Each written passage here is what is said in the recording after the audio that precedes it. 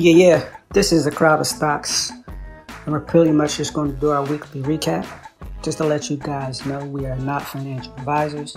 This is just advice, opinions from people that we took the time to research on the internet just to hear their opinions on stocks and options, plays you should or could be making in the near future. With Chris Sain, we talk about holding AMC.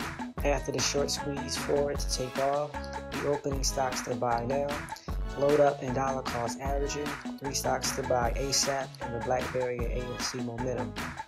With Kenan Grace, we talk about Dogecoin to a dollar, synthetic AMC shares being exposed, AMC set to explode, and NIO stock.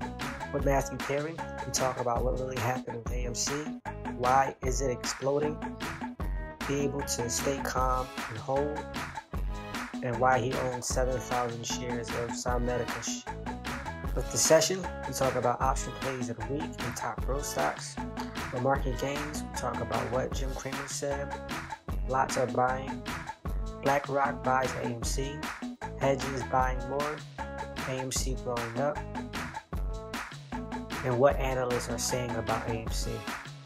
With Mike Davis, we talk about Dogecoin breakout or fake out.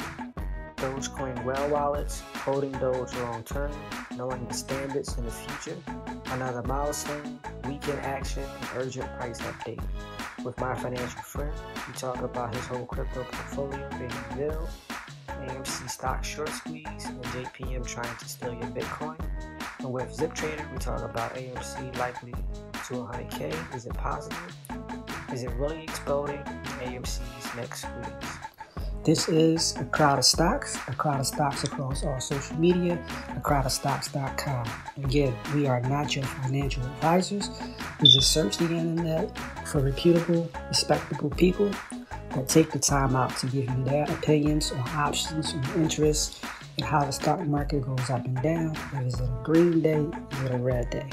Hopefully, you guys can look into these people. Hopefully, some of this is good advice. Hopefully, this is something that you guys can see that you can use in the near future. Until next week.